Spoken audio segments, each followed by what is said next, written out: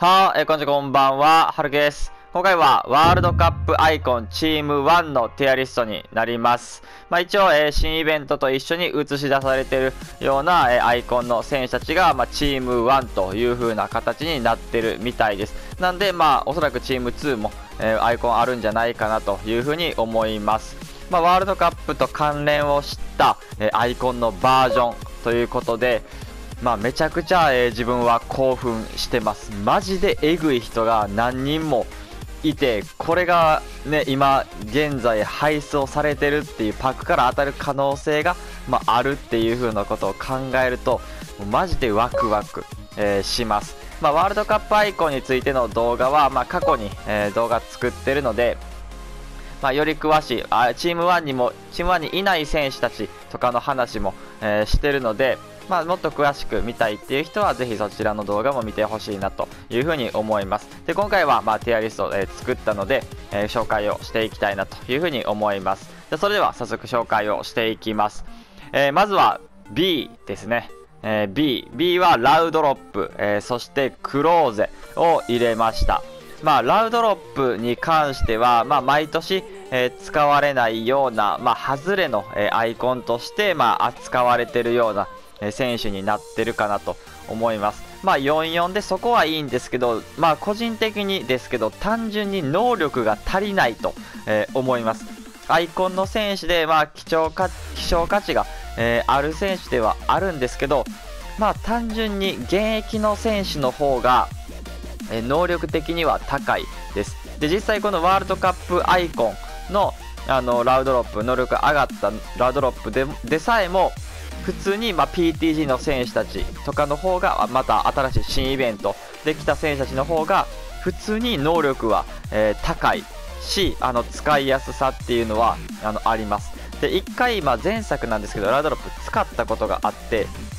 めちゃくちゃ弱かったです。めちゃくちゃ弱くて、まあ、本当に現役の選手の方が、うん、数倍、えー、強かったっていうことも、えー、あってまあ、ラウドロップは個人的には、えー、あまり使われないような、え、選手にはなってしまうのかなというふうには思います。で、そして、まあ、クローゼ。まあ、クローゼもあまり使われないような、えー、選手にはなってしまうんですけど、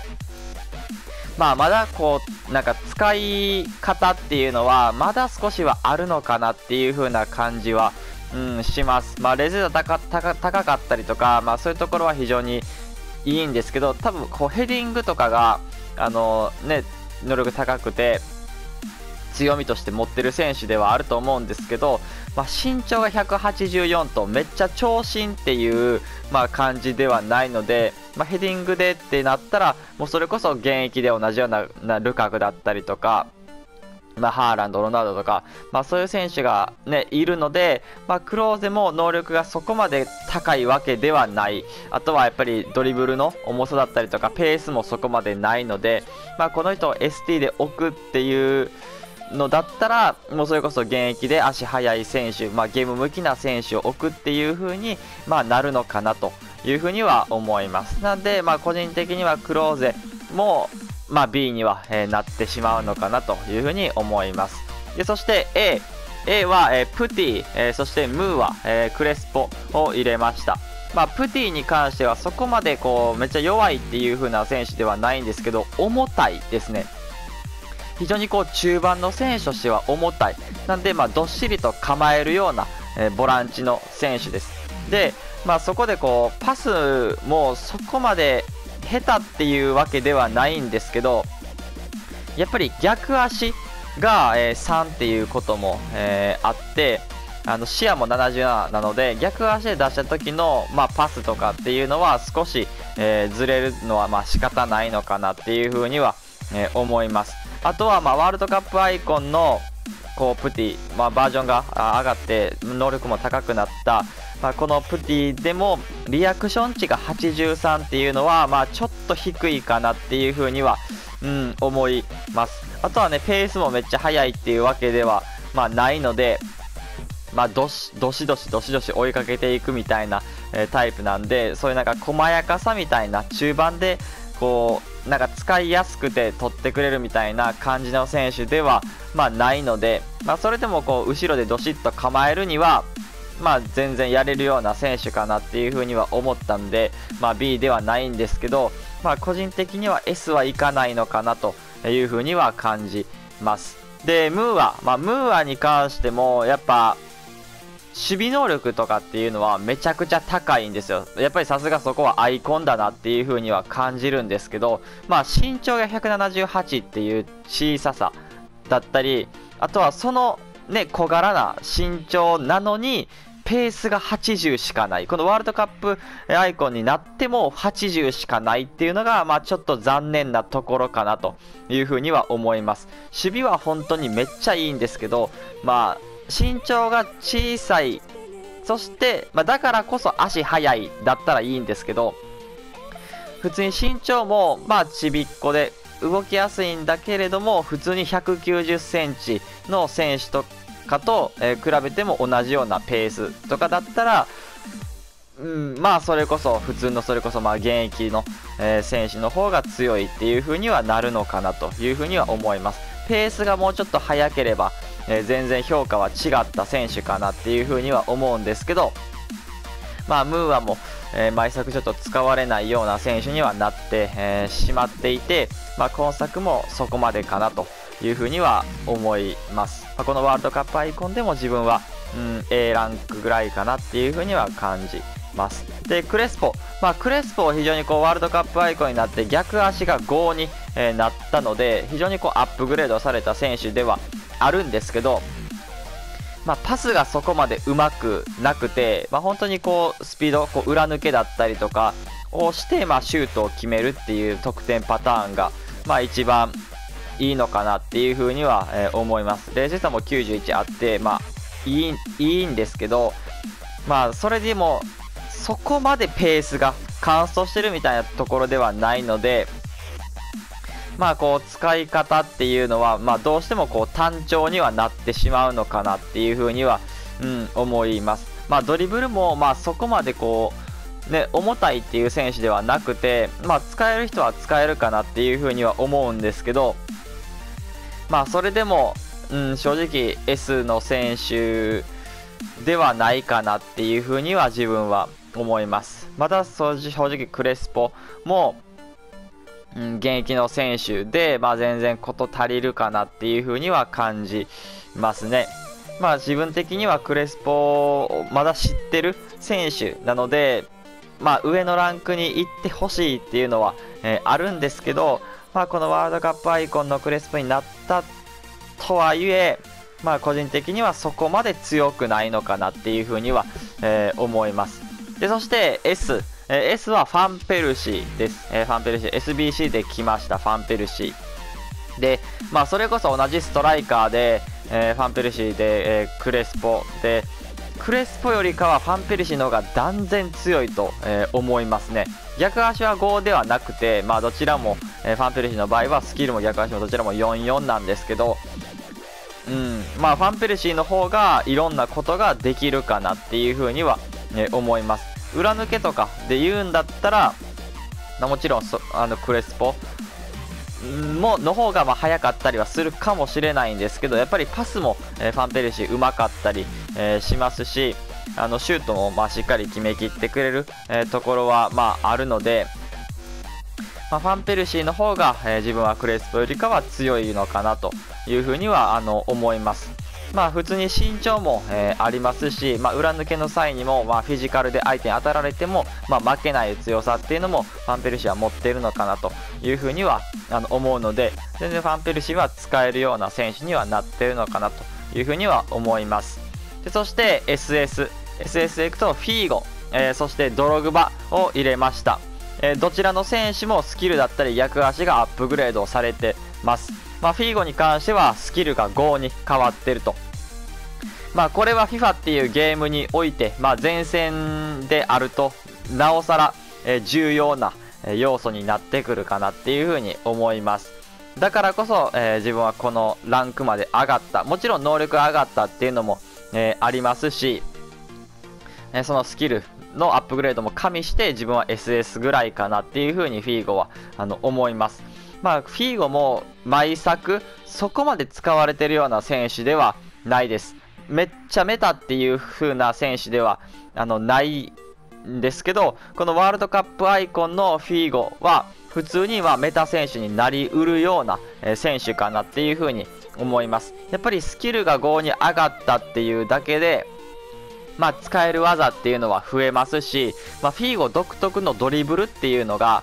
ちょっと違和感が、えー、あるようなドリブルの仕方をするので、まあ、そこをまあちょっとスキルで、えー、軽減できるのかな違和感を、まあ、少しでもこう和らげることができるのかなっていうふうにも、まあ、思うので、まあ、あとはあの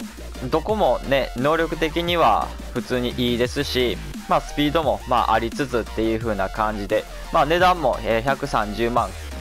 を超えているので、まあ、かなりこう高いような選手にはこのスキルが5になったっていうことが、まあ、一つ、え、影響として出てるのかなっていうふうにはあの思います。ここのスキル5へのアップグレードっていうのはフィーゴは特にでかいのかなっていうふうには自分は、え、思います。でそして、え、ドログバ、え、ドログバに関しては、え、逆足が5に変わってます。でスキルもあの4あるのでまあそこまで、えーなんか何もできないっていうことはないのかなっていうふうに思います。まあでも結構重たいです。結構ドリブルに関しては重たいです。なので、まあ、正直こう地上戦じゃなくて、まあ、空中戦の方がめっちゃドログバは生きるのかなっていうふうに思います。身長が189ありながらジャンプが90あるっていう風な形になるので、まあ、空中戦はかなり強いんじゃないかなというふに思います。でストレングスフィジカルも93あるっていうところなので本当に相手を弾き飛ばしてもう相手を覆いかぶさるようにしてヘディングを決めるっていうことができるので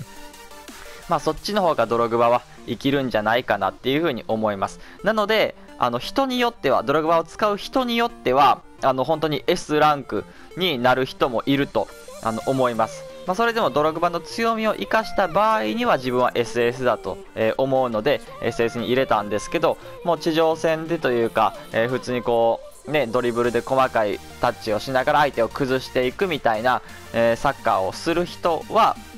あのドログバ合わないとあの思います。まあ、それでもね、逆足が5とかになってるので、まあ、そこでワンタッチシュートとか、最後、フィニッシャー的な、えー、ところでドログバ使うっていうのは使えるとは思うんですけど、まあ、ドリブドログバの良さっていうのはそういうドリブルではなくてやっぱり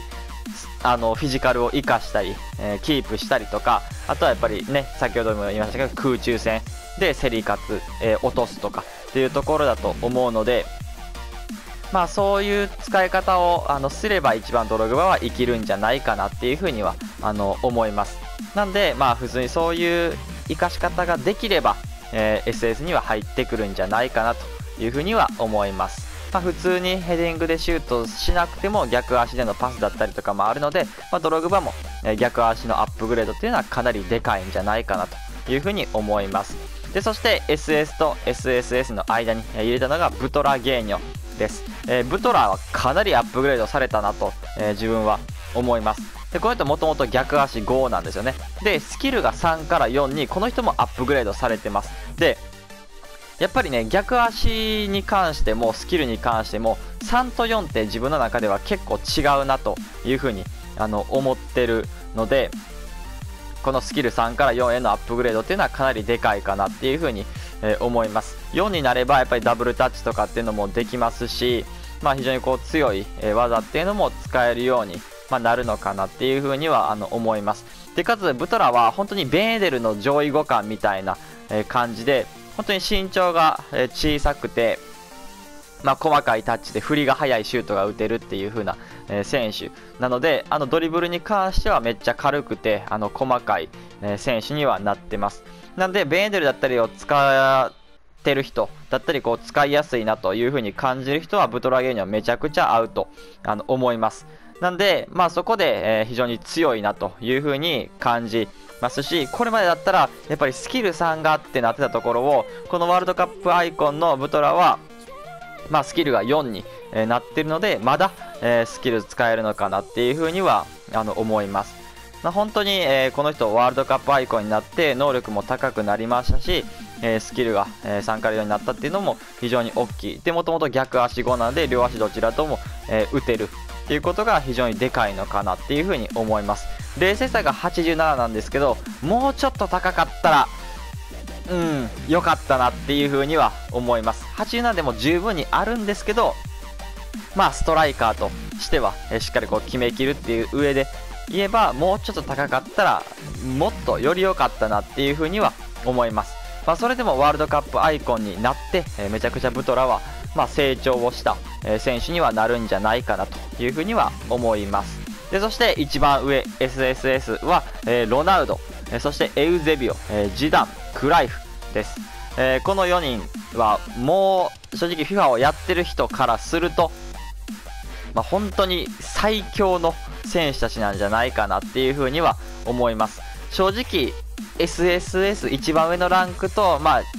2番目 SS、ここの差はめっちゃあると思います。かなりあるんじゃないかなっていうふうに思います。それぐらい、まあ、一番上にいる4人っていうのは、まあ、ちょっと別格というか、現役の選手たちと比べても、こう作品1年を通して比べても、うん、この人たちは本当に強い、選手たちになります。これからのイベントだったりとか、まあ、現役の選手がめっちゃ強くなるイベントとかが来てもなおこの人たちの方が強いっていうことがあるぐらいあの強い選手たちなのでマジでこの人たちは、うん、この時期に配されてることがおかしいかなって思うぐらい、えー、強い人たちです。で、ロナウドに関しては、やっぱりもともと55、えー、それがあって、えー、本当にこう、FIFA をやってる人、まあ、世界大会でもそうですけど、まあ、みんながやっぱり一番の、まあ、フォワードとして使う人がこの人なんですよね。もうプロの人たち世界大会で使われてるもうみんながロナウド、えー、まず前線にいます。ST で、えー、絶対います。100%、えー、いますロナウド。それぐらいまあ、FIFA では、え、めちゃくちゃ強い、え、使われてるような選手になるので、まあ、それが、えー、こう95で、まあ、出てきてるっていう風になると、まあ、ここのランクに入れざるを得ないっていう風な感じですね。で、ベースアイコンのテアリスト見てくれた方はわかるかなっていう風に思うんですけど、ベースだとそこまで強くないんですね。ベースだとやっぱりスキル、役足どちらも44っていうこともありますし、まあ、能力もそこまで強くないっていうところなんで、えー、ね、ちょっと、まあ、弱くはなってしまうんですけど、ミドル、えー、そしてこのワールドカップの、えー、アイコンで、そしてプライムっていう風になると、マジでちょっとベースと変わるぐらい、えー、めちゃくちゃ強くなってくるので、まあ、ちょっとロナウドは、えー、もう当たり前にここの、えー、一番上のランクに、えー、いてもおかしくないかなというふうに思います。で、エウゼビオ。まあ、エウゼビオに関しても、まあ、ちょっとブトラと似てるかなっていうふうに思います。まあ、本当にベンエデルとか、ま本当に、まあ、ジョタとか、えー、そこら辺の、本当に上位互換、一番上の、えー、選手かなっていうふうに思います。本当に小回りが効きつつ、決定力がこの人はマジで違いますね。他の選手たちとは本当に違うくて、で、決定力とかがめちゃくちゃこう乾燥してるっていうわけではないんですけど、なぜかめっちゃ決めてくれるっていうのが、なんか謎の、えー、力があるような選手がエウゼビオです。もう本当にこの人めちゃくちゃ古い選手なんで、まあ自分も全然知らない選手ではあるんですけど、マジで決定力は本当にやばいです。もうほぼ入るみたいな、え選手になってるので、まあ、シュートに関してはチート級みたいな、え感じですね。で、それでも、まあ、シュートそうそういうシュートがありつつ、ペースもあって、ドリブルも軽くて、えパスも出せるっていう風な選手なんで、まあ、そら強いやろっていう風な感じにはなります。で、フィジカルもそれなりにあるっていう風な感じなんで、まあ、本当に唯一スキルが5じゃないっていうところだけが、まあ、欠点になるのかなっていうふうには思うんですけど、まあ、マジでこの人、エウゼビオも強いです。で、ジダン。まあ、ジダンももともと55、えー、非常に強くて、まあ、ジダンは知ってる人、えー、多いんじゃないかなっていうふうには思います。まあ、中盤で、えー、CM だったり、キャムでも全然使えると思いますし、まあ、ボランチでも、え世界大会では使ってる人もえー、いました。まあ、それでも一番の適性は 3CM の一角で使うことかなっていうふうには思います。まあ、飛び出していって、えー、シュートを簡単に決めることができますし、えー、前線に飛び出していった時に、まあ、シュートじゃなくてスキルでかわして横にパス出すとかっていうこともできるので、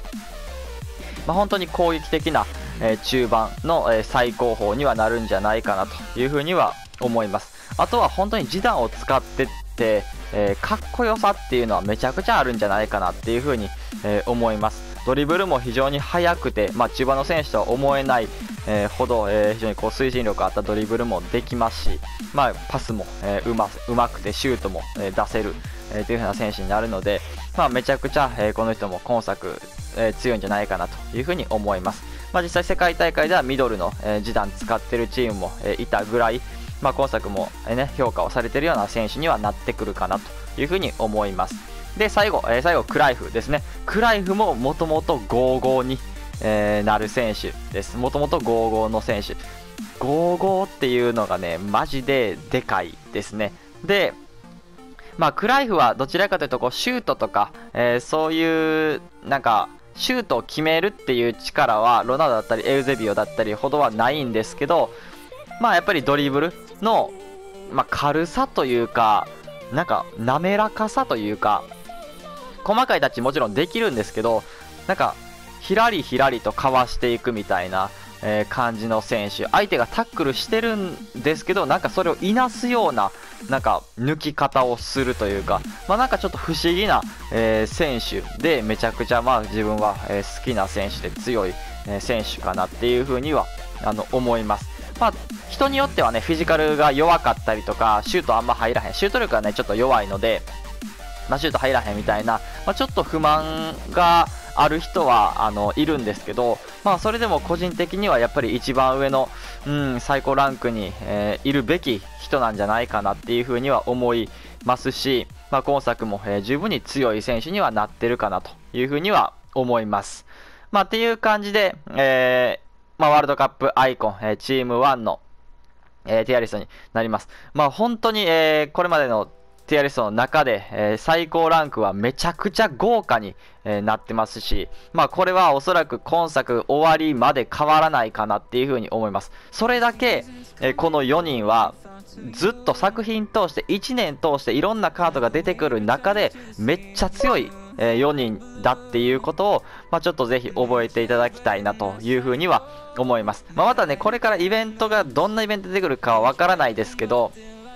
まあそれどんなイベントが来たとしても、まあこの4人は十分に渡り合える力っていうのは持ってるかなというふうには思います。えまたチーム2が来た時にはテアレスを作りたいなというふうには思うので、えー、ぜひ少しも参考にしていただければ嬉しいなというふうに思います。え、それでは今回これで終わります。いいなと思ったらチャンネル登録、高評価お願いします。それでは、バイバイ。